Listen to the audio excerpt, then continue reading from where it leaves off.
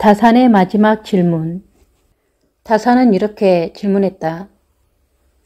천하에는 두 가지 큰 기준이 있는데 하나는 옳고 그름이요. 또 하나는 이익과 손해다. 이 두 가지 큰 기준에서 네 종류의 큰 등급이 생긴다. 옳은 것을 지켜서 이익을 얻는 것이 가장 큰 등급이요. 옳은 것을 지켜서 해를 받는 것이 그 다음이며 나쁜 것을 쫓아 이익을 얻는 것이 그 다음 등급이다. 가장 나쁜 등급은 나쁜 것을 쫓아서 해를 받는 것이다.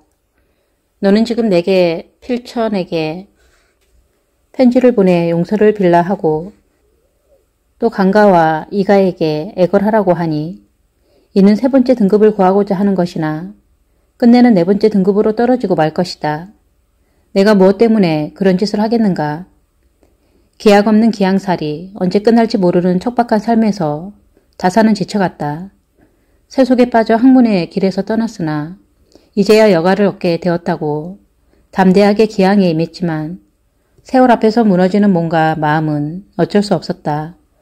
마음은 수시로 어디론가 떠나버려 잡념이 천갈래 만갈래로 흩어졌고 중풍은 점차 심해져 오한과 마비에 시달렸다.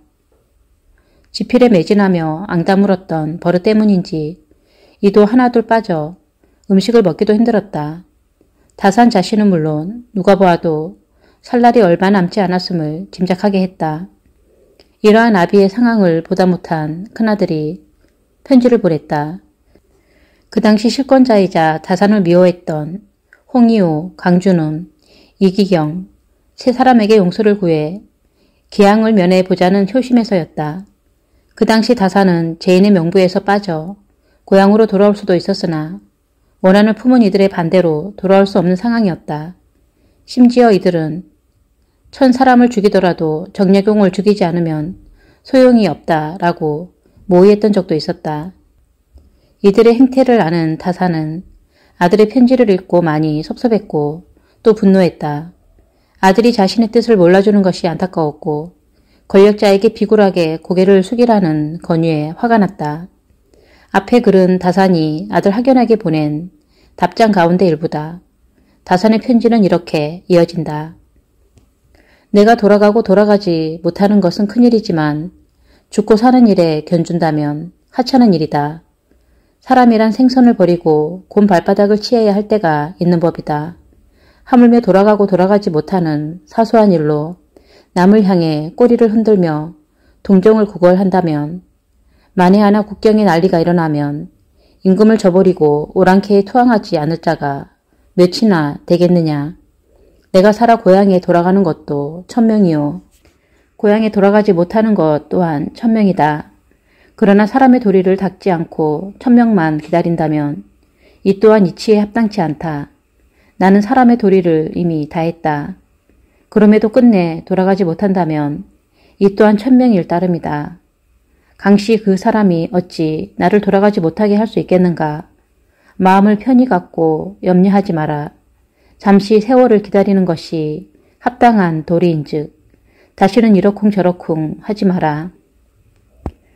다사는 끝없이 계속될 것 같은 기양 생활과 척박한 환경에서 어쩔 수 없이 마음이 흔들렸을 것이다. 그리고 그때마다 자신에게 질문을 던졌을 것이다.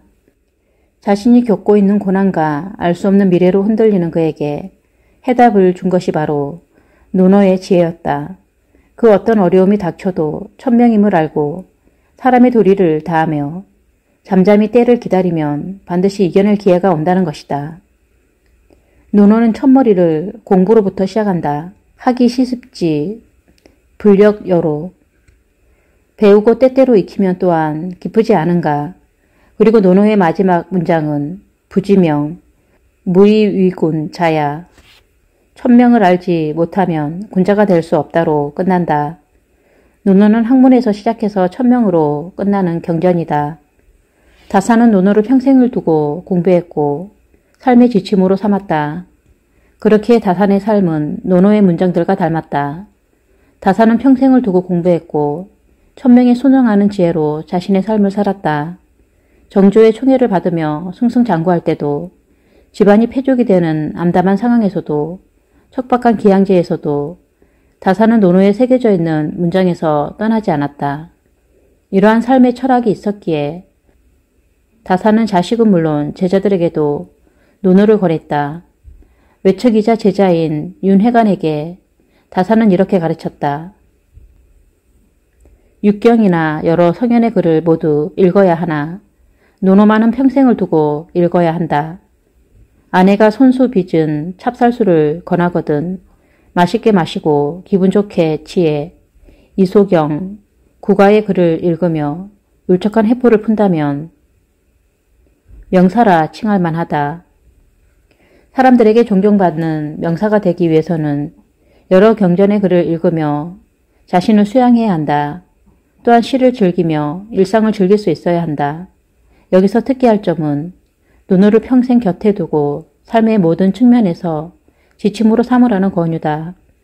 평온할 때나 어려울 때나 암담한 순간에도 항상 곁에 두고 묻고 답을 찾으라는 것이다. 그렇게 할 때 단순히 세상의 이름을 널리 알린 사람이 아니라 자기 삶의 의미를 찾고 또 스스로의 가치를 높이는 진정한 명사가 될 수 있다. 노노는 2500여 년 전 춘추시대에 활동했던 공자와 그의 제자들의 언행을 모은 책이다. 대화를 통한 공자의 가르침과 간략한 경고로 구성되었지만 공자가 직접 쓴 책은 아니다. 한 사람이 쓴 것이 아니라 오랜 시간과 여러 사람의 손을 거쳐 책이 이뤄졌기에 그 구성과 책에도 일관적이지 않다. 책의 주제도 철학은 물론 교육과 문화, 정치를 비롯해 일상적인 삶의 도리까지 세상사를 망라하고 있다. 따라서 한편으로는 너무나 당연한 이야기에 고개를 끄덕이다가도 곧 난해한 문장에 고개를 갸웃거리게 된다. 짧은 문장에 담긴 심오한 이치를 이해하기가 쉽지 않기 때문이다. 지금까지 노노와 관련해 나온 책은 3천종에 달한다고 한다. 동약 철학의 핵심이자 학문의 기본으로 인식되었기에 많은 학자들이 주석을 달았다. 그 많은 주석서 중에 우리에게 가장 큰 영향을 미친 것은 주자학의 창시자인 주자가 쓴 논어 집주다. 그 외에 위나라의 한, 양나라의 한간, 송나라의 형병 등 많은 유학자들이 논어주소를 썼다. 화이트헤드의 말을 변주하자면 서양 철학이 플라톤의 각주이듯 동양 철학은 논어의 각주라고 해도 과언이 아닐 것이다. 다산이 50에 도달한 책 논어 다산이 500여 권에 달하는 여유당전서를 집필하면서 논어에 관한 책을 쓴 것은 당연한 일이었다. 학자로서 동양 철학의 핵심이자 삶의 지침인 논어를 빼놓을 수 없었을 테고 논어를 빠뜨리면 전집의 완성도에도 흠이 되기 때문이다. 더불어 왜 논어가 험난한 기양 생활을 살아낼 힘이 될 수 있었는지도 밝히고 싶었을 것이다. 어쩌면 책을 쓰면서 기양 생활의 어려움을 잊을 수 있다고 생각했을지도 모른다. 실제로 다사는 논어에 관한 많은 학자들의 주석을 모아 편찬하고 자신의 생각을 함께 밝힌 논어 고금주를 쓰면서 학문의 즐거움과 더 좋은 세상을 향한 이상을 꿈꿀 수 있었다. 하지만 지필의 순간만큼은 결코 쉽지 않았다. 다산이 둘째 형 정약전에게 보낸 편지에 있는 글이다. 이제 논어를 가져다가 지폐와 집주의 예에 의거해 청구의 것을 모아 하나의 책으로 엮고 싶습니다. 이것이 스스로 그 뜻을 찾아내 집필하는 육경의 연구 작업과는 차이가 없지는 않으나 정력을 허비하고 마음을 쓰는 것이 결코 적지만은 않습니다. 지금은 기력이 점점 쇠약해져 몇 달 사이에 빠진 이가 셋입니다. 문묵을 사절하고 자연과 버에 논일면서 세월이나 보내겠다고 결심했지만 돌이켜보면 안타까울 뿐입니다. 다사는 주자나 하한 등 뛰어난 학자들의 주석을 모아 책을 만들려고 했다. 처음에는 이 작업이 창작보다는 좀 쉬울 것이라고 생각했다. 하지만 오랜 기양 생활에서 몸과 정신이 쇠락했기에 이 역시 쉬운 일은 아니었다. 잠시 붓을 내려놓고자 했지만 지피를 쉬는 것이 오히려 다산에게는 더 힘들었다. 작업의 어려움이 단순히 체력적인 한계 때문만은 아니었다. 믿었던 학자들의 해석에서 오류를 발견하는 것이 다산에게는 더욱 참을 수 없는 일이었다. 그들의 사고가 신분의 틀 안에 사로잡혀 있었던 것과 무엇보다도 실천을 가장 중시하는 자신의 학문적인 소신에 맞지 않은 것에서 많은 갈등을 느꼈다. 노노에 대한 고금의 여러 학설을 수집했던 것이 적지 않습니다만 한 장씩 대할 때마다 그것들을 모조리 고찰해 그 중에서 좋은 것을 취해다가 간략히 기록했습니다. 그 중에서 의견이 대립하는 것은 취해다가 논평하고 단정했으니 새로도 보충할 것이 없겠습니다. 그런데도 고금의 학설들을 두루 고찰해보면 이치에 합당하지 않은 것이 많습니다. 이때는 어쩔 수 없이 책을 덮고 눈을 감은 채 앉아 밥 먹는 것도 있고 잠자는 것도 있노라면 반드시 새로운 의미나 이치가 번뜩 떠오릅니다. 하늘이 제게 세월을 더 줘 작업을 마칠 수 있게 해준다면 제법 볼만한 책이 나올 것 같은데 탈구할 방법이 없으니 매우 안타깝습니다. 좌절하던 때도 있었지만 다사는 끝내 자신의 걸작을 완성했다. 그 외에도 이황, 이, 이익 등 조선시대를 통틀어 최고로 꼽히는 학자들이 논어주에서를 썼다. 이 책들은 훗날에까지 큰 영향을 끼치는 교육의 기본서가 되었다. 하지만 주자에 대한 지나친 신봉이 조선시대 학문과 정치에 큰 폐해를 끼치게 된 것도 부인할 수 없다. 대표적인 것이 사문 난적의 폐해였다. 주자의 성리학과 다른 주장을 하는 학자들은 유교에 반하는 주장을 하는 학자로 낙인 찍혀 학문적, 정치적으로 매장당했다. 다산이 기양을 갔던 당시에도 별반 다르지 않았다. 하지만 다산은 학문의 주체성과 진실성에 있어서는 결코 타협하지 않았다. 설사 주자의 해석이라고 해도 아닌 것은 아니라고 분명히 밝혔다. 이는 맹자가 말했던 진진서 즉 불여무서 서경을 맹신하는 것은 서경이 없는 것만 못하다는 학문적 소신과도 일치한다. 맹자가 서경의 과장된 면을 비판했던 것처럼 다산 역시 주자의 해석을 무조건 신봉하는 학문적인 풍토를 받아들일 수 없었다. 노노의 반만 읽어도 세상의 이치를 깨뜨릴 수 있다. 노노에 담겨 있는 가르침은 간략하면서도 함축적이다. 공자가 말했지만 그 뜻을 분명하게 밝혀주지 않는 것도 많아서 그 해석이 제각각일 때가 많았다. 하지만 누구에게나 공통적인 지향이 하나 있다. 바로 다산이 말했듯이 논어를 통해 가장 높은 단계의 기준을 얻는 것이다. 가장 오르면서도 가장 이익이 되는 것.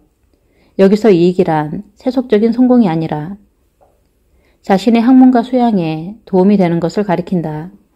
논어는 누구에게나 보편적으로 적용되는 사람됨의 근본을 말하고 있다. 그래서 논어에 담긴 내용을 거칠게 요약하자면 옳고 바른 길을 살아가면서 자기 삶을 가장 유익하고 충실하게 채울 수 있는 법이다. 논어가 주는 또 한 가지 가르침은 변하다.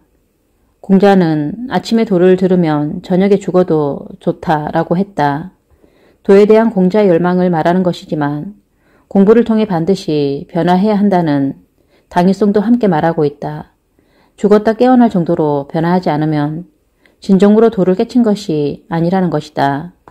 성리학의 철학적인 근거를 제공했던 이정 형제는 논어를 읽되 읽은 후에도 같은 사람이라면 그는 논어를 읽지 않은 것이다 라고 말했다. 그는 17세부터 논어를 읽었는데 읽을수록 깨달음의 맛이 깊고 길었다고 한다. 깨달음을 얻었다면 당연히 삶은 변화할 수밖에 없게 된다. 마지막으로 논어는 단순히 개인의 수양이 그치는 것이 아니라 세상사 모든 측면에 적용할 수 있는 기준이 된다.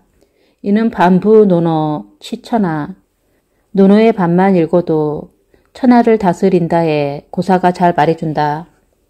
조보는 송태조, 조광윤을 도와서 천하를 통일하는 데 큰 공을 세웠지만 그 학문이 깊지는 않았다. 하지만 그는 태조의 뒤를 이어 황제가 된 태종까지 보좌하며 훌륭한 정치를 펼쳤다. 학문이 깊지 않은데도 재상의 자리에 올라 승승장구하자 많은 사람들이 입방하에 모였다. 태종이 그 소문을 듣고 공부를 권하자 그는 이렇게 말했다. 신이 아는 바로는 만사가 논어에서 벗어나지 않으니 그 책의 절반으로는 태종을 도와 나라를 세웠고 나머지 절반으로는 폐하를 도와 태평성대를 이루게 하겠습니다. 논어를 통해 집권과 통치 지혜를 모두 얻을 수 있다는 것이다. 실제로 그가 죽은 후 서재에는 논어 단 한 권만이 꽂혀 있었다고 한다. 오래전 이야기이지만 이 원칙은 옛날에 그치지 않는다. 오늘날에는 논어를 통해 자신의 분야에서 일가를 이룬 사람이 많다. 특히 국가 경영뿐만 아니라 기업 경영에도 지침이 될 수 있다. 삼성의 창업자 이병철 회장의 경영 필독서는 논어였다. 일본 근대 자본주의 아버지로 불리는 시부사와 A이치는 논어를 통한 기업 경영을 강조했으며 논어와 주판이라는 책을 집필하기도 했다. 여기에 청쿵그룹 회장인 리자 청까지 동양을 대표하는 이들 기업인들은 하나같이 논어를 통해 기업을 경영하고 큰 발전을 이뤘다. 이는 오늘날 첨단 산업의 시대에도 다르지 않다. 다산의 노노 고금주에 관한 책을 쓰면서 나 역시 내 삶에, 내 일에 끊임없이 질문을 던져야 했다. 그동안 허황된 것을 붙잡으려고 애쓰면서 정작 삶의 근본을 놓치고 있었다는 것을 절실히 깨달았다. 하지만 나는 다산의 독창적이고 주체적인 해석을 보면서 하나하나 답을 찾을 수 있었다. 아마 이 책을 읽는 독자 여러분도 마찬가지일 것이다. 수없이 질문을 던지고 해답을 찾아가는 과정을 겪어야 할 것이다. 따라서 이 책에는 내 생각보다는 다산의 해석과 관점을 주로 담으려고 했다. 다산이 평생을 두고 지켜왔던 공부의 원칙, 폭넓게 공부하고 자세히 묻고 깊이 생각하고 밝게 변별하고 독실하게 행함이 모두 담겨있기 때문이다. 다산의 통찰을 읽으며 함께 깨닫고 느낄 수 있었다는 것은 다산을 좋아하는 사람으로서 큰 기쁨이었다. 다산의 마지막 시리즈를 마치면서 이 기쁨을 독자 여러분과 함께 나눴으면 한다. 독서는 만 권을 읽듯이 한 권을 새기듯 읽는 것이다. 배우기만 하고 생각하지 않으면 속임을 당하고 생각만 하고 배우지 않으면 위태로워진다. 학문을 할 때에는 반드시 배움과 생각을 병행해야 한다는 것을 가르쳐주는 유명한 구절이다. 다사는 먼저 학사 망태, 내 단어의 뜻을 보충해서 설명해준다.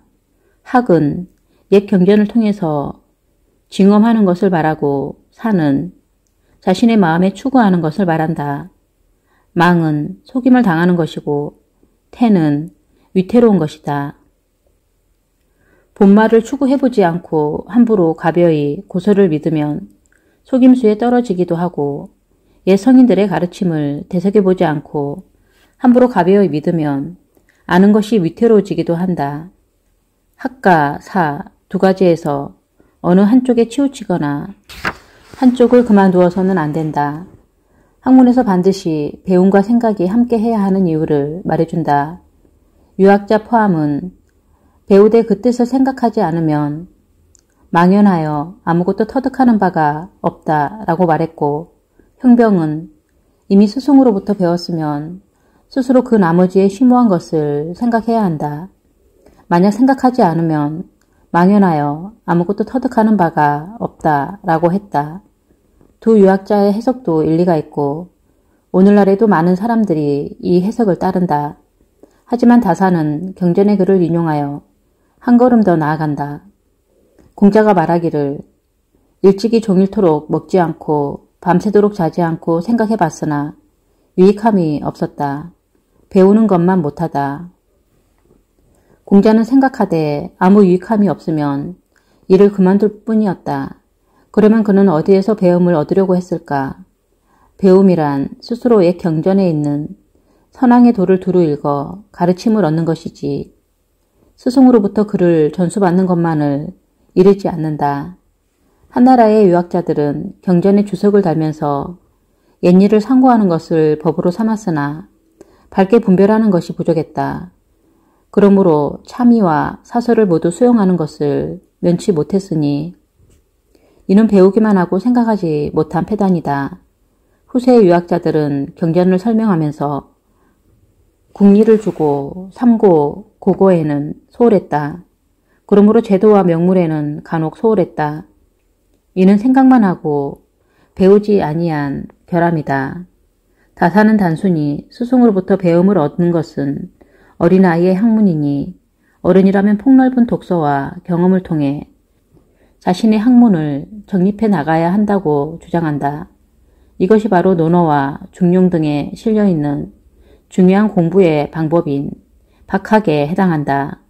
하지만 박학에는 반드시 깊은 생각이 뒷받침되어야 한다.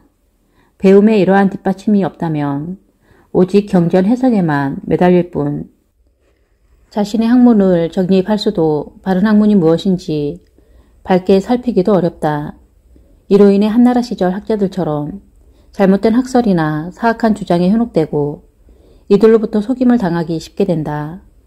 반대로 그 이후의 학자들처럼 경전으로부터 배움을 얻거나 근거를 찾는 데는 소홀하고 그저 자기 생각을 펼치는 데만 치중하게 되면 학문이 바로 서지 않고 바탕이 흔들림으로 위태로운 상황을 맞고 만다.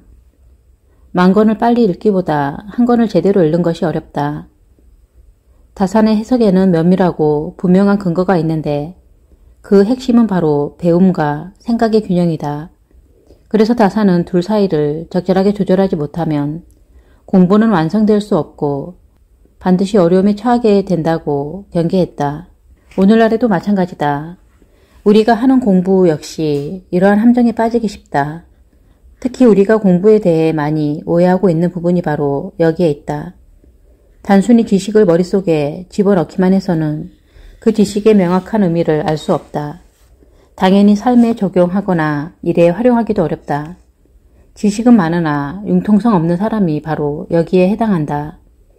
반대로 아무런 지식 기반이 없이 생각에만 깊이 빠진다면 얕은 생각에 그치고 만다. 주로 재치는 있으나 공부를 게을리 하는 사람이 많이 기대는 변명이다. 지식의 뒷받침 없이 그때그때 임기응변과 얕은 꾀에만 의존하면 속된 말로 잔머리만 쓰는 사람이 되는 것이다. 다사는 이러한 공부 방식에서 벗어나 지식을 쌓는 것과 사유를 병행하는 방법을 생각했다. 바로 초서 독서법이다. 초서 독서법은 단순히 글을 읽으며 공부하는 데 그치지 않고 중요한 것을 뽑아 글로 쓰면서 공부하는 방식이다. 물론 이렇게 하면 빠른 독서는 불가능하다. 하지만 공부를 하며 스스로 생각할 수 있다. 다사는 제자와 자식들에게도 초서 독서법을 권했다. 두 아들에게 답한 편지에 있는 글이다. 책을 가려 뽑는 초서의 방법은 나의 학문이 먼저 확립된 뒤에야 옳고 그름을 판단할 수 있는 저울이 마음속에 있어 취하고 버림이 어렵지 않게 된다. 무릇 한 권의 책을 얻더라도 내 학문에 보탬이 될 만한 것은 뽑아 기록해 모으고 그렇지 않은 것은 눈길도 주지 말아야 한다. 이렇게 한다면 비록 100권의 책이라도 열흘 공부거리에 지나지 않는다. 초서 독서는 나 또한 고전을 공부하면서 익히 도움을 받은 공부법이다. 특히 빠른 독서보다 깊은 의미를 새겨야 하는 고전 공부에서 큰 도움이 된다. 덧붙여 한 가지 더 이점이 있다.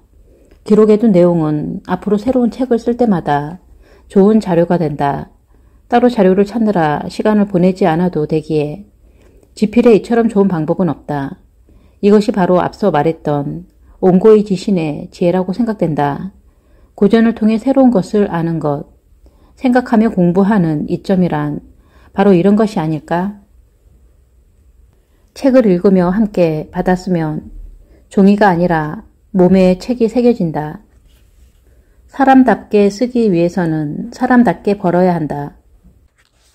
부귀함은 누구나 바라지만 올바른 도로서 얻은 것이 아니라면 누려서는 안 된다.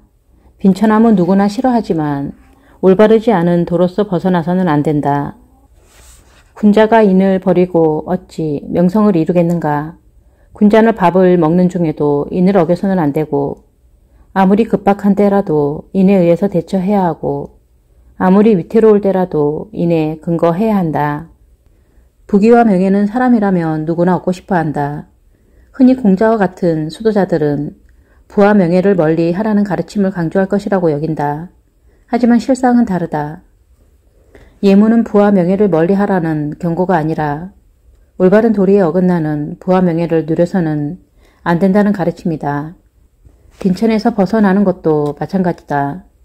빈천이 괴롭고 힘들다고 해도 온갖 편법과 불의를 써서 벗어나느니 차라리 빈천에 머무는 것이 낫다는 것이다.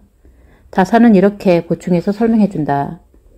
부귀는 사람이 얻고자 하는 바다. 그러나 올바른 도로서 부귀를 누려야 하는데 이를 얻지 못하면 누려서는 안 된다. 도란, 그 이루는 방법이 정의와 도리에 합당해야 한다. 빈천은 사람들이 싫어하는 바다. 그러나 도로서 그것을 버려야 하는데 이를 얻지 못하면 버리지 않아야 한다. 득이란 이를 이룬다는 뜻이다. 빈천을 버리는 것도 뜻을 이루는 것이다. 부귀를 얻는 것도 빈천에서 벗어나는 것도 그 수단과 절차 모두에서 올바른 도를 벗어나서는 안 된다. 여기서 특기할 점은 빈천에서 벗어나는 것의 해석이다. 유학자 하하는 시운에는 막힐 때와 형통할 때가 있기 때문에 군자가 도를 따라 행했어도 도리어 빈천해질 때가 있다. 이는 그 도로서 얻어진 것이 아니며 비록 사람들이 싫어하는 바더라도 이것을 버려서는 안 된다라고 해석했다. 하지만 다산의 생각은 달랐다. 아니다. 만약 이와 같다면 군자는 끝내 빈천을 떠날 길이 없다. 한번 빈천을 얻으면 이를 버리지 않는 것을 법으로 삼고 그것이 도인지 아닌지에 대해서는 머리를 흔들며 불문에 붙인다면 어찌 군자의 시중의 돌이 있겠는가. 오직 도로서 이것을 버려야 하는데 그 도로서 버리는 것을 얻지 못했을 때 버리지 않을 뿐이다. 한을 비롯한 많은 유학자들은 도에 맞게 행했는데도 빈천하게 되었다면 그 빈천을 버리지 않아야 한다라고 해석했다. 빈천을 숙명적으로 받아들여야 한다는 소극적이고 비관적인 해석이다. 하지만 다사는 빈천은 그 도에 맞게 벗어나야 하는데 올바른 도리에 맞게 행했는데도 벗어나지 못했다면 부득이 버리지 않을 뿐이다 라고 해석했다. 다른 유학자들의 해석이 빈천을 받아들여야 한다에 방점이 찍혔다면 다산의 해석은 빈천에서 벗어나야 한다에 방점이 찍혔다. 빈천은 당연히 벗어나야 하되 반드시 올바른 도리로서 벗어나야 한다는 것이다. 다산은 만약 올바른 도로서 벗어나지 못했다면 다른 불이한 방법을 쓸 것이 아니라 빈천에 머무르는 것이 옳다는 진취적인 해석을 내놨다. 부에 휘둘리니 부를 더럽다고 착각한다. 부에 관해 일찍이 다사는 이렇게 말했던 적이 있다. 제자 윤윤경에게 준 가르침이다. 태사공이 말하기를 늘 가난하고 천하면서 인일을 말하기 좋아한다면 이 역시 부끄러운 일이다 라고 했다. 공자의 문화에서는 재리에 대한 이야기는 부끄럽게 여겼으나 자공은 큰 부자가 되었다. 그러므로 생활의 수단으로는 원포와 목축만 한 것이 없다. 그리고 연못이나 못을 파서 물고기도 길러야 한다. 다산이 왜 위대한 실학자인지 잘 보여주는 가르침이다. 당시 풍조는 집안이 몰락해 밥을 굶을지언정 선비라면 이른바 천한 일을 하지 않는 것을 당연히 여겼다. 하지만 다산이 보기에 가족들이 밥을 굶더라도 짐짓 뒷짐을 주고 아무런 노력도 하지 않는 태도는 그저 미련한 것이다. 이는 올바른 도리에 대한 해석이 달랐기 때문이다. 다산에 따르면 올바른 도리란 신분에 매여 신분의 노예가 되는 것이 아니라 농사나 원예 등 어떤 일을 하더라도 가족을 먹여 살리는 것이다. 예문에서 올바른 도리라고 했던 것은 바로 인이다. 이어지는 구절에서 어떤 일을 하더라도 인을 떠나서는 안 된다고 한 것이 이를 말해준다. 공자는 인으로 다스려지는 세상을 추구했고 개인의 수양 역시 인을 얻고자 함이라고 가르쳤다. 여기서 다사는 인을 다시 명쾌하게 정의해준다. 인이란 사람과 사람 사이에서 그 도를 다하는 것이다. 자식이 어버이를 섬기고 난 뒤에 효라는 이름을 얻고 젊은이가 어른을 섬기고 난 뒤에 재라는 이름을 얻고 신하가 임금을 섬기고 난 뒤에 충이라는 이름을 얻고 목민간이 백성을 잘 살게 해준 뒤에 잘 아는 이름을 얻으니 인을 버리고 어찌 이름을 잃을 수 있겠는가. 인이란 세상 모든 일의 근본이다. 인을 이룬다는 것은 각 사람들이 모두 자신의 본분에 충실한 것이다. 이렇게 할 때 사람들은 올바른 도리에 걸맞게 행동하게 되고 당연히 좋은 세상이 이뤄진다. 따라서 부귀를 취하는 것도 빈천에서 벗어나는 것도 그 어떤 일을 하더라도 인이 근본이 되어야 한다. 그리고 여기서 말하는 인이란 바로 사랑이다. 돈에 얽매이지 말라는 주문 또한 사람을 돈에 올가매는 주문이다. 아이가 시행착오를 겪을 기회를 빼앗지 말라. 공자가 중궁을 평하기를 검은 소의 새끼가 붉고 뿔이 있으면 비록 쓰지 않으려 해도 산천의 신이야 그것을 버리겠는가 라고 했다. 중궁은 덕행이 뛰어나 공문 십철 가운데 하나로 꼽힌다. 논어에는 공자가 중궁을 평가하는 말들이 여러 번 나오는데 칭찬 일색이다. 대표적인 것이 응야에 실린 글인데 공자는 중궁을 두고 응은 임금 노릇을 할 만하다 라고 했다. 원문으로는 응야 가사 남면인데 그대로 옮기면 응은 남쪽을 향해 앉을만 하다가 된다. 고대 중국에서 남쪽을 향해 앉을 수 있는 사람은 천자와 제후뿐이었다. 따라서 공자의 말은 중궁이 임금 노릇을 할 만한 자격을 갖추고 있다는 대단한 칭찬이다. 예문 역시 공자가 중궁을 평하며 했던 말인데 그 세세한 내용을 모르면 정확한 뜻을 알 수 없다. 마치 수수께끼와 같은 느낌인데 공자는 중궁의 아버지 연배구와 중궁의 관계를 두고 이 말을 했다. 먼저 예문의 상세한 배경을 다산으로부터 배워보자. 검은 소의 새끼가 붉고 또 뿔이 있으면 지신과 천신을 제사하는 데는 쓸 수 없다. 그러나 산천의 제사에까지 이를 버려야 하겠는가? 중궁은 어진 아버지의 아들이다. 당시 사람들이 중궁의 어짐이 그 아버지보다 못해 쓸모가 없다라고 평했는데 이에 공자는 그의 어짐이 아버지보다 못하다 하더라도 어찌 한 단계 낮춰 쓸 수 없겠는가 라고 말한 듯하다. 무릇 제사용으로 붉은 것은 얻기 쉬우나 검은 옷은 얻기 어렵기 때문에 검은 소로서 어진 아버지에 비유한 것이다. 여기서 검은 소의 새끼란 중궁을 가리키니 중궁의 아버지 연배구가 바로 검은 소다. 하지만 일반적인 검은 소의 새끼답지 않게 중궁은 붉고 또 뿔이 있는 소였다. 고대 중국에서는 지신과 천신에 지내는 제사가 있고 산천에 지내는 제사가 있다. 하늘에 드리는 천신, 사직에 드리는 지신에 지내는 제사에 비해 산천에 지내는 제사는 등급이 낮다. 따라서 제물로 드리는 소 역시 검은 소가 아닌 한 단계 낮은 붉은 것을 사용해도 무방했다. 다사는 그 당시 제사의 관습에 비유해 중궁과 아버지 연배구에 대해 이야기하고 있다. 하지만 중궁의 아버지 연배구가 훌륭한 사람인지 혹은 중궁의 아버지가 연배구가 맞는지에 대해서도 많은 논란이 있었다. 유학자 하하는 아버지가 비록 착하지 않았더라도 그것이 아들의 아름다움에 해가 되지 않는다라고 했고 형병은 중궁의 아버지는 착하지 않았다라고 했다. 공자 가어에서는 여몽은 자가 중궁이니 연배구의 아들이다. 불취한 아버지에게서 태어났으나 덕행으로서 명성이 드러난다고 했고 사기 중리제자 열전에서도 그 아버지가 행실이 미천했다라고 했다. 하지만 다사는 이 모두에 대해 근거가 없다고 주장했다. 아니다. 전안의 관악에서 잘못 해석했기 때문에 불초하다, 행실이 미천하다 하고 속였으나 이는 모두 증거가 되기에는 부족하다. 애초에 잘못된 해석에서 비롯되었기 때문에 그의 근거와 많은 주장들 또한 모두 거짓이 되었다는 것이다. 그리고 다사는 이렇게 근거를 낸다. 중궁의 아버지가 설사 착하지 않았다고 하더라도 그를 검은 소의 새끼라고 매도하는 것은 군자의 말이 아니니 공자가 어찌 그렇게 말했겠는가. 왕충의 노령의 중궁을 연배구의 아들로 한 것은 반드시 근거한 바가 있다. 연배구는 안연, 민자건, 중궁과 함께 덕행에 뛰어났다고 하고 또 그가 병석에 누워 있을 때 공자가 심히 애석히 여기면서 이 사람에게 이런 병이 있다니 라고 한탄했으니 그의 어지문 가히 알만하다. 설사 아버지가 착하지 않다고 해도 그의 아들을 배도하는 짓은 공자와 같은 군자는 절대로 하지 않을 것이라는 말이다.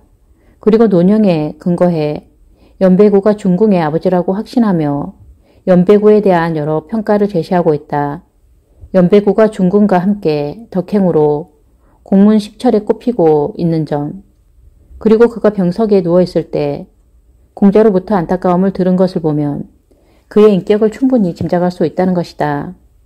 이 구절을 두고 많은 유학자들과 다산의 주장이 엇갈리고 있다. 우리에게는 당연히 다산의 해석이보다 더 믿음이 갈 것이다. 다산이 제시하는 근거가 훨씬 더 확실하기 때문이다. 어떤 주장을 할 때는 반드시 확실한 근거를 찾아야 한다. 설사 권위 있는 책에 실려있는 글이라고 해도 반드시 비판적인 관점에서 확인하고 받아들여야 하는 것이다. 맹자는 서경을 맹신하는 것은 서경이 없는 것만 못하다라고 했다. 아무리 권위 있는 책이라고 해도 무조건 받아들이는 것은 올바른 학문의 길이 아니다. 반드시 다른 권위 있는 책을 통해 확인하고 자신의 생각을 통해 판단해야 한다. 또 한 가지 생각해봐야 할 점은 아버지라는 존재를 통해 아들을 평가해서는 안 된다는 것이다. 다사는 중궁의 아버지가 설사 착하지 않다고 하더라도 그로 인해 중궁을 함부로 배척하거나 매도해서는 안 된다고 했다. 아들의 존재는 아들의 사람됨 그 자체로 평가받아야 한다.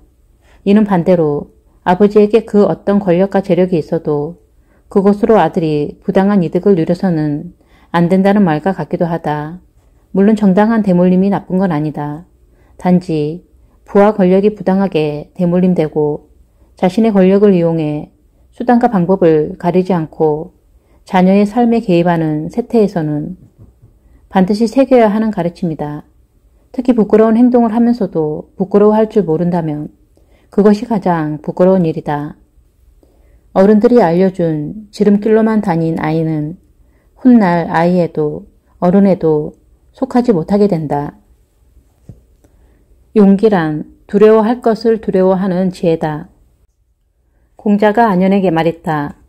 나라에서 써주면 일을 하고 버림받으면 자신을 감추는 것은 너와 나만이 할 수 있겠구나. 자로가 공자에게 물었다. 스승님께서 삼군을 거느리고 출정하신다면 누구와 함께 하시겠습니까? 공자가 말했다. 맨손으로 범을 잡고 맨몸으로 강을 거느려다 죽어도 후회하지 않는 자와는 함께하지 않겠다.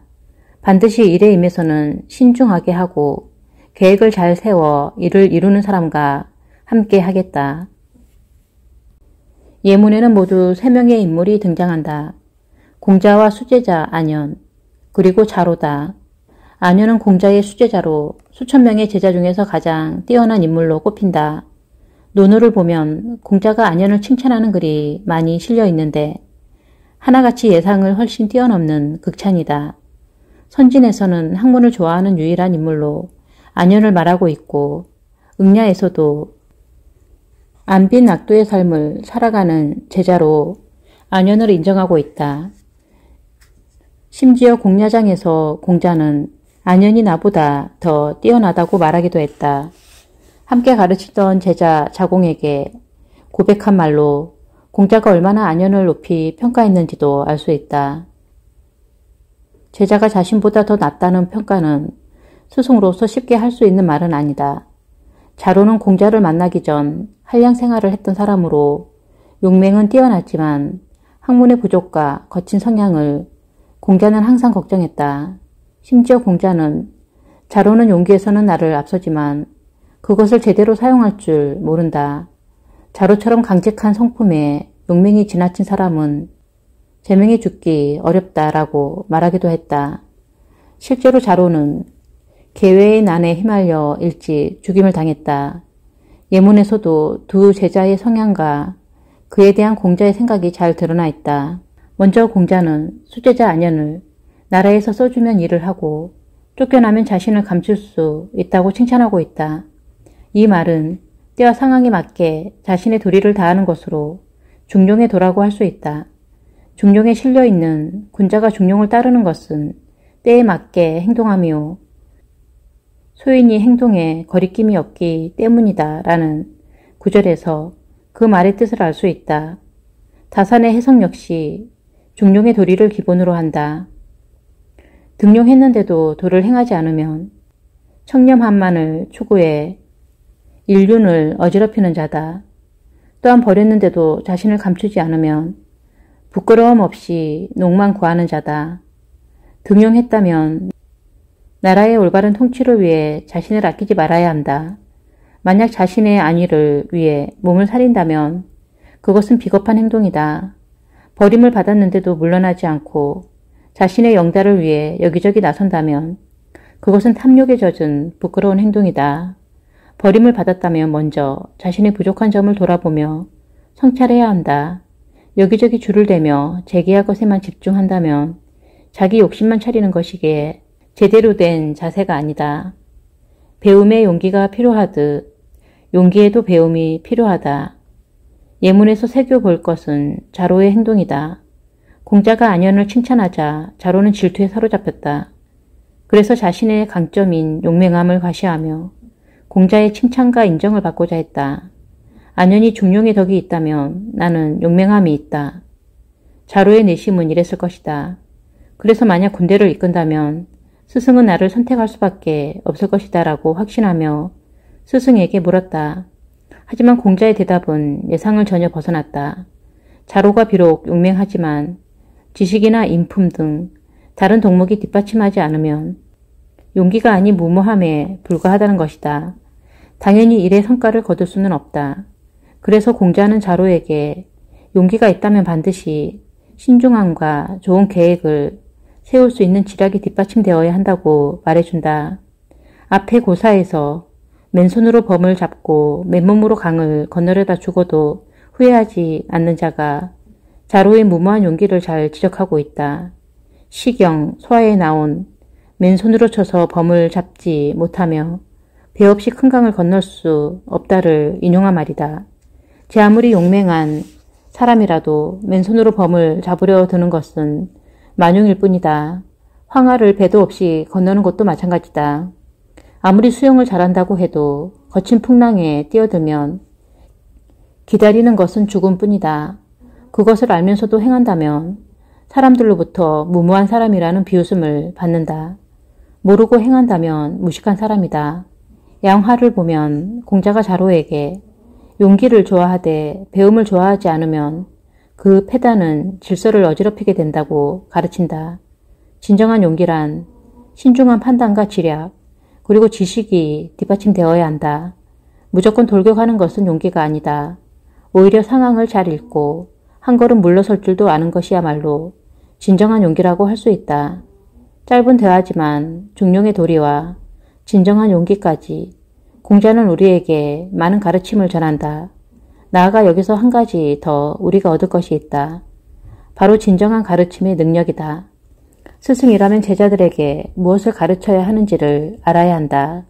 그리고 그것을 집약해서 말해줄 수 있는 능력을 갖춰야 한다. 한마디 짧은 말로도 급소를 찔러 핵심을 가르치는 일침 견혈의 능력. 그것이 등을 보여주면서 길을 제시하는 이들의 자질이다. 두려움을 모른다면 생에 대한 존중도 알지 못한다. 돈을 쓰는 것이지 돈에 쓰여서는 안 된다. 부가 구해서 얻을 만한 것이면 비록 채찍을 잡는 천한 일이라도 나는 하겠다. 그러나 추구해서 안 되는 것이라면 나는 내가 좋아하는 바를 따르겠다. 흔히 동양 철학에서는 불을 부정적으로 볼 것이라고 생각한다. 하지만 논어를 보면 공자는 불을 부정하지 않았다. 잘 알려진 결리 사이, 견득 사이 성어가 이를 말해준다. 부자가 되는 일, 이득이 되는 일이 생긴다면 반드시 그것이 의로운지를 생각해 본 다음 취하라는 뜻이다. 만약 부자가 되려는 욕심에 아무 생각 없이 이익을 취한다면 잘못된 길로 빠질 수 있다. 탐욕이 이끄는 대로 이끌려 간다면 어떤 부귀를 누리더라도 그 삶은 부끄러워진다. 그러나 부귀가 무조건 부끄러운 것은 아니다. 부귀를 어떻게 쌓았는지 그리고 얻은 부귀를 어떻게 누릴지에 따라 얼마든지 부귀는 누릴 만한 것, 가치 있는 수단이 될 수도 있다. 예문은 세 가지로 다르게 생각할 수 있다. 먼저 불을 취하는 정당성이다. 결리 사이가 뜻하는 바와 같이 불을 얻는 방법이 정당한가 라는 물음이다. 만약 그 방법이 정당하다면 취하는 방식으로 기천을 나눌 수 없고 그렇게 축적한 부 또한 얼마든지 누릴 만한 것이 된다. 그 다음은 불을 구하는 때가 합당한가 라는 질문이다. 다사는 불안, 벼슬을 하는 것이라고 봤다. 벼슬을 해야 전지를 받을 수 있으므로 부와 기는 함께 한다는 것이다. 따라서 불을 구할 때가 합당하다는 것은 그 시대와 상황이 잘 다스려지고 있을 때를 의미한다. 시대가 평안하고 정의롭다면 불을 구하는 것은 잘못이 아니다. 하지만 시대가 혼란스럽고 잘 다스려지지 않는다면 군자는 스스로 떠날 수 있어야 한다. 세상이 혼란스럽고 올바른 도리가 지켜지지 않는데 자신의 이득만을 취해 불을 구한다면 그것은 온당한 일이 아니다. 또 한 가지 해석은 능력의 문제다. 불안 누구나 원하지만 누구나 얻을 수 있는 것은 아니다. 따라서 구해서 얻을 수 있다면 어떤 일이라도 해서 구하겠지만 구해서 얻을 수 없다면 자신이 원하는 일, 즉 도를 구하는 일을 하겠다는 것이다. 정현을 비롯해 많은 유학자들이 이와 같이 해석했다. 정현은 북이랑 구해서 얻을 수 없으니 마땅히 덕을 닦아 이를 얻어야 한다고 주장했다. 유학자로서 가질 만한 전형적인 생각으로 불을 구하는 것보다 덕을 닦는 것이 먼저라는 주장이다. 불을 추구하는 데 집중하면 덕을 잃기가 쉽고 또 불을 얻는다는 보장도 없지만 덕을 닦고 지혜를 기르면 오히려 불을 구하기가 더 쉬워지기 때문이다. 불을 부정하게 쓰고선 부가 나쁘다 하는구나. 다사는 여기에 대해서는 명확하게 반대 뜻을 밝혔다. 다사는 예문의 해석을 두 번째, 즉 불을 구하는 때가 합당한가 아닌가에 두었다. 다사는 다른 유학자들의 주장에 대해 이렇게 반대했다. 아니다. 얻을 수 있는가, 얻을 수 없는가의 이치에 대해서는 이미 성인이 이에 대해 강론한 적이 있는데 비록 채찍을 잡는 천한 직업이라도 나는 하겠다 라고 했겠는가 옛 유학자들의 설과 같다면 공자는 당연히 불을 구해서 얻을 수 있다면 재상의 직책이라도 나는 하겠다 라고 했을 것인데 어찌 여기 채찍을 잡는 일을 기준으로 삼아야 했겠는가. 이 경문의 말뜻은 벼슬을 할 만한 세상을 만난다면 비감 말직이라도 마땅히 하겠지만 벼슬을 할 만한 세상이 아니라면 정승으로 삼아주더라도 돌을 닦으면서 스스로 즐기는 것만 못하다라는 것이다. 말에 담긴 의미가 그렇지 않은가? 다산의 지적이 정확하다. 만약 앞선 유학자들의 주장처럼 부귀를 구할 수 있다고 한다면 그 능력으로 재상을 하지 굳이 마부를 하겠다고 했겠는가?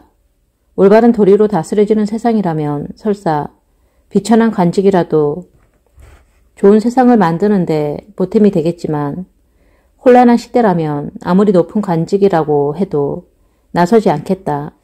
부귀를 쫓아서 스스로 타락하는 일은 하지 않겠다.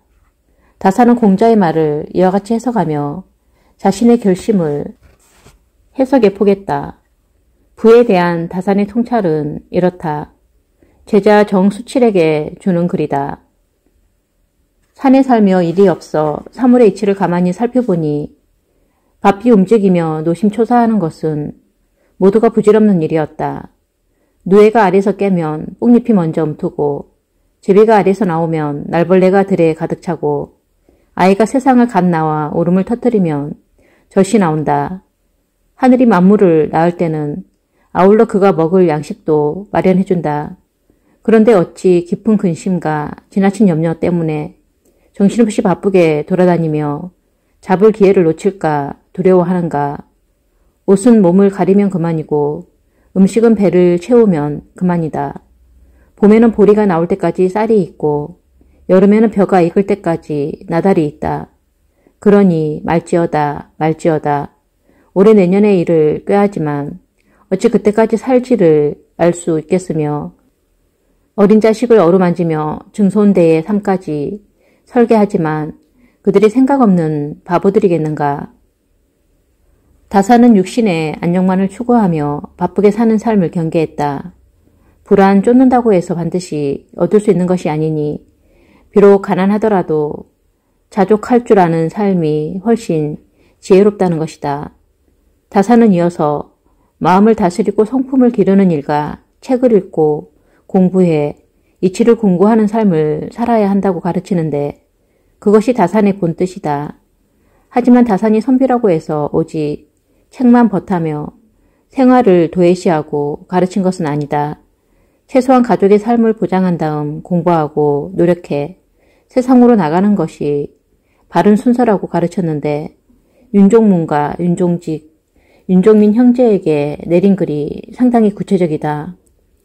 뽕나무 800그루를 심어서 규방을 넉넉하게 하고 모란 300본을 심어서 지묵의 비용에 충당하라. 그러고 난 다음 시를 배우고 예를 배워 가슴속에 두터이 쌓이면 아름다운 빛이 밖으로 드러나게 된다. 그리고 때가 오고 운수가 통하면 밝은 조정에 나가 벼슬을 하게 될 것이다. 오늘날 북이란 누구나 추구하는 것이다. 누구라도 더 풍족한 삶을 누리고 싶고 더 높은 지위에 오르고 싶어 한다. 공자나 다산의 가르침처럼 때와 상황을 가려 불을 취할지 말지를 결정하는 것도 지금과는 맞지 않는 삶의 태도일 수도 있다. 하지만 정당한 수단과 방법으로 불을 쌓아야 하는 것은 오늘날에는 당연히 지켜야 할 일이다. 불의에 개의치 않고 다른 사람에게 피해를 주면서까지 성공만을 얻고자 한다면 다산이 말했듯이 모두 부질없는 일이 되고 만다. 재물이 무거울수록 할 수 있는 것들이 많아진다. 그러나 넘쳐난 무게는 족쇄가 되어 인간을 올가맨다. 하고 싶은 것과 해야 할 것을 안다면 두려워할 일이 없다. 공자가 광땅에서 위태로운 일을 당했을 때 말했다. 문왕이 이미 돌아갔으나 그 글이 여기 있지 않은가. 하늘이 장차 이 글을 없애려 한다면 내가 여기에 참여할 수 없을 것이다. 하늘이 이 글을 없애려 하지 않을 것이니 광땅 사람들이 나를 어떻게 하겠는가. 노노 수리를 보면 공자가 주역에 대해 했던 말이 실려 있다. 나에게 몇 년의 시간이 더 주어져 신살의 역을 배운다면 큰 허물이 없을 것이다. 신살은 공자가 말했던 천명을 안다는 아이다. 이 글에는 두 가지 가르침이 담겨 있다. 먼저 주역을 통해 하늘의 뜻을 알게 된다는 것이다. 인생이란 결코 마음먹은 대로 되는 것이 아니며 옳은 일이라고 해서 반드시 이루어지는 것도 아니고 선한 사람이라고 해서 반드시 순탄한 길을 걷게 되지도 않는다. 하지만 어떠한 고난이 닥치더라도 그 속에 담긴 하늘의 뜻을 새기며 때를 기다린다면 다시 일어설 기회를 얻을 수 있다. 그것을 깨우치는 나이가 곧 신으로 많은 공부와 경험이 뒷받침되는 시기다. 글에 담긴 또 한 가지 가르침은 공자가 주역을 좋아해서 열심히 읽고 공부했다는 사실이다. 도무지 깊이를 알 수 없는 경지의 구도자였지만 그래도 정녕 알 수 없는 삶의 깊은 의미를 알고자 그는 쉬지 않고 노력했을 것이다. 그래서 공자는 위편 3절 책을 묶은 끈이 세 번이나 해져 끊어질 정도로 열심히 주역을 읽었다. 이러한 배경을 알면 예문을 좀 더 쉽게 이해할 수 있다. 예문은 광 땅에도 도적인 양으로 의인을 받아 죽을 위험에 처했을 때 제자들은 다독이며 공자가 했던 말이다. 여기서 하늘이 없애지 않으려고 한다는 글이 바로 주역이다. 주역은 주나라의 문왕이 괴를 만들었고 공자가 이에 대한 철학적 해설서인 십익전을 저술했다. 예문의 사건이 있었을 때는 공자가 아직 십익을 완성하지 않았을 때다. 다산의 둘째 형 정략전은 예문에 대해 그 글이 여기 있지 않은가 라고 한 것은 주역의 십익 중 단전과 상전이 여기에 있음을 말한다 라고 했다. 공자가 십익을 아직 완성하지 못했고 단전과 상전만 만들었다는 것이다. 그리고 이어서 정략전은 좀 더 상세히 해설해준다. 공자는 주역의 도에 밝아서 장차 십익전을 지어 후세에 전하려고 했으나 그 당시에는 미처 완성하지 못했다. 그러므로 이르기를 하늘이 이 글을 없애려고 한다면 나는 쓸수 없지만 하늘이 이 글을 없애려고 하지 않는다면 나는 오늘 죽임을 당하지 아니할 것이다. 광땅의 사람들이 나를 어떻게 하겠는가 라고 했다. 공자는 주역의 시빅전을 완성하는 것이 하늘이 준 소명으로 생각했다. 따라서 자신은 시빅을 완성할 때까지 죽을 수 없으며 하늘도 자신을 죽게 버려두지 않을 것이니 두려울 것이 없다는 것이다. 천재는 순간의 번뜩임이 아니라 오랜 세월로 두드려진 결과다. 예문의 해설에서 특이할 점은 다산이 자신의 둘째 형 정약전의 해설을 실은 것이다. 다산에 비해 잘 알려지지는 않았으나 그 역시 정조에게 탁월함을 인정받았던 인물이다. 정조는 약전의 중거란 풍채가 야경의 아름다운 자태보다 낫다고 하며 깊이 총애했고 비록 관직에는 늦게 진출했지만 증용했다. 하지만 정조가 승하한 이후 다산과 함께 기양을 떠나 흑산도에서 기양 생활을 했다. 이때 흑산도의 어류를 연구해 자산 오보라는 실학서를 저술했으니 어떤 상황에서도 학문을 향한 열정을 꺼뜨리지 않는 점은 형제가 닮았다고 할 수 있다. 나아가 다사는 여유당 전설하는 대작을 완성하면서 정약전에게 큰 도움을 받기도 했다. 다사는 그를 피를 나눈 형제이자 학문에 함께 뜻을 둔 동력자이며 서로를 알아주는 직위로 생각했다. 다사는 책을 쓰면서 의문이 생기면 반드시 정약전에게 의견을 구했고 특히 주역에 관한 해설서인 주역 사전을 쓰면서 왕래했던 일을 이렇게 표현하기도 했다. 주역 사전이 완성되어 보냈더니 이를 보시고 공은 이렇게 말했다. 새 성인의 음미한 뜻이 오늘날에 와서 다시 찬란히 밝아졌다고 했고 얼마 뒤 다시 초고를 고쳐서 보냈더니 공은 지난번 원고가 동쪽 하늘에 떠오르는 샛별이라면 이번 원고는 이미 중천에 밝은 태양이다 라고 했다. 가문이 폐족되고 형제가 모두 기양이라는 최악의 상황에 있었지만 학문의 완성이라는 소명으로 이들은 하나가 되었다. 다산이 이처럼 주역에 관심을 갖고 책을 쓴 까닭은 공자와 마찬가지로 자신의 소명을 분명히 인식하고 확신했기 때문이었다. 다산은 주역 사전을 쓴 후에 그 소감을 이렇게 남겼다. 주역 사전은 내가 하늘의 도움을 얻어서 쓴 글이니 절대로 사람의 힘으로 통하거나 지혜로운 생각만으로 도달할 수 있는 것은 아니다. 능히 이 책에 깊이 마음을 두고 그 오묘한 뜻을 다하는 자가 있다면 바로 자손이나 버실 것이니 천년에 한 번 만난다 해도 애주중지함이 보통 정리에 배가 될 것이다. 화와 복의 이치에 대해서는 옛날 사람들도 의심해온 지 오래되었다. 충효를 행한 사람이라고 해서 반드시 화를 면하는 것도 아니고 음란하고 방탕한 자라고 하여 반드시 박복한 것도 아니다. 그러나 선을 행하는 것이 복을 받는 도가 되므로 군자는 부지런히 선을 행할 뿐이다. 세상 일에는 정해진 법칙이 없다. 아무리 선한 삶을 살아도 뜻하지 않은 고난에 처하기도 한다. 이때 우리가 취할 수 있는 태도는 자신의 소명을 분명히 인식하는 것이다. 자신이 해야 할 일, 반드시 이루어야 할 일에 집중한다면 그 어떤 어려움도 이겨낼 수 있다. 물론 아무리 뛰어난 성인이라도 사람인 이상 두려움을 가질 수 있다. 공자가 처했던 상황에 대해 다사는 성인도 당연히 칠정이 있다. 병기가 와서 닿았는데 두려워하지 않았을 리가 있겠는가 라고 했다. 다른 유학자들이 공자는 두려워한 바가 없다 라고 하자 반박했던 말이다. 다산 역시 최악의 기양에서 아무리 마음을 다스리려고 해도 근심과 두려움에 시달렸을 것이다. 자신과 가문이 재개할 수 있을까에 대한 근심, 자신을 미워하는 사람들로부터 목숨을 잃을지도 모른다는 두려움이다. 다산은 그 근심과 두려움을 자신의 소명에 충실한 것으로 이겨냈다. 멀리 소망의 끈을 놓지 않고 가까이 하루하루 충실하게 삶의 자세로 마음 다스림과 지필에 집중함으로써 자신의 소명을 완성해갔다. 여의당 전선은 그냥 이루어진 것이 아니다. 천재의 번뜩임이 만들어낸 결과도 아니다. 한 인간이 평생에 걸쳐 피와 땀으로 빚어낸 것이다. 나의 삶을 이해하게 되었을 때 하늘에게 나의 삶에 대해 물을 수 있다.